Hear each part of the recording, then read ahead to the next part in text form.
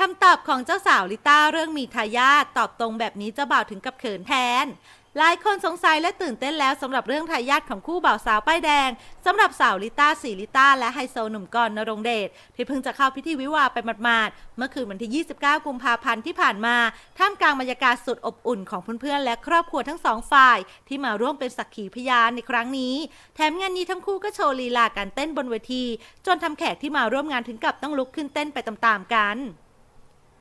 งานนี้เหล่าบรรดาพี่ๆนักข่าวได้เข้าไปถามถึงเรื่องการมีทายาทซึ่งสาวลิต้าก็ได้ให้คำตอบที่ทุกคนต้องขำไปตามๆกันเลยว่า นักข่าวถามลิต้าคะใช้คำว่าเปิดอู่ได้เลยไหมคะลิต้าตอบว่าก็แบบธรรมชาติเลยค่ะ นักข่าวถามก็คือปล่อยแล้วใช่ไหมคะลิต้าตอบจะปล่อยวันนี้วันแรกเลยค่ะแหมตอบได้ตรงและชัดเจนมากค่ะทำเอาสามีเขินจนยิ้มแก้มปิเลยค่ะ